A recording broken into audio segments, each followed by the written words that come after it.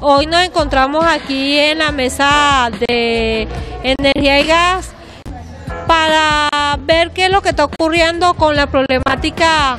de la luz, ya que se nos está yendo dos veces a la semana y el por qué está ocurriendo estos apagones en horas nocturnas. Entonces, por acá, por este medio, le hacemos el llamado a que por favor hagamos el racionamiento eficiente y el uso consciente de la electricidad en nuestros hogares. Tratemos de pagar bombillos que no estemos usando nocturnos, eh, televisores que no estemos usando, apagarlos. Vamos a tratar de que este alto incremento de luminaria, de gastos de luz, baje. Y bueno, explicando un poco que eh, los planes que hemos estado llevando a cabo forman parte de lo que es la estabilización del sistema eléctrico que, que actualmente se encuentra muy vulnerado producto de los incrementos de la demanda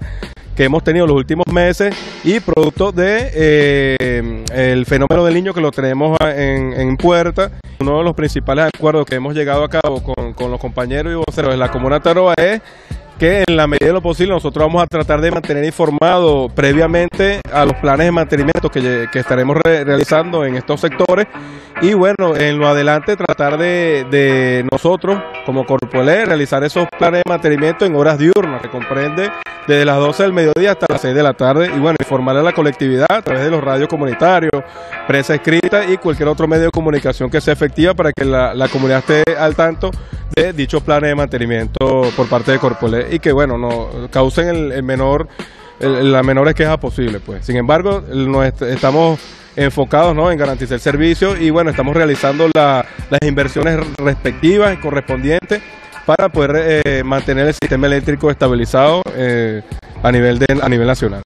Entonces, bueno, él nos informó que de ahora en adelante este, él va a tener una, una, reunión y nos va a decir qué día se puede. Lo que nosotros le pedimos es que se haga de día los, los cortes que se vayan a hacer. En, de noche, a veces llegan la gente, vienen de trabajo y entonces